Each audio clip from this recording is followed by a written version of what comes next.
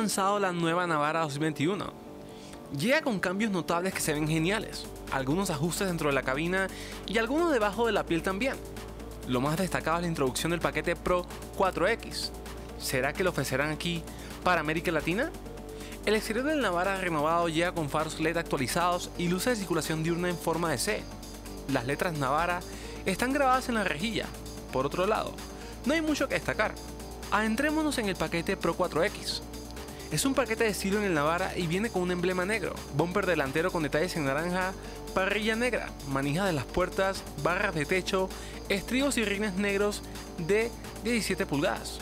Nissan ha introducido algunos sistemas de seguridad que ya se han visto en otros modelos. Entre ellos está la advertencia inteligente de colisión frontal, que monitorea el segundo vehículo delante, así como el vehículo directamente enfrente para reducir el riesgo de accidentes de varios autos, el frenado de emergencia inteligente y el monitor inteligente de visión periférica que usa cuatro cámaras para ayudar con el estacionamiento. También hace su debut un monitor todoterreno que verifica los obstáculos a bajas velocidades cuando se encuentra en el modo de tracción en las cuatro ruedas. Bajo el capó, conserva el mismo par de motores, pero el eje trasero está reforzado y la capacidad de carga útil también aumenta. Sin embargo, Nissan no ha proporcionado los números. También habrá un nuevo escalón integrado en el parachoques trasero.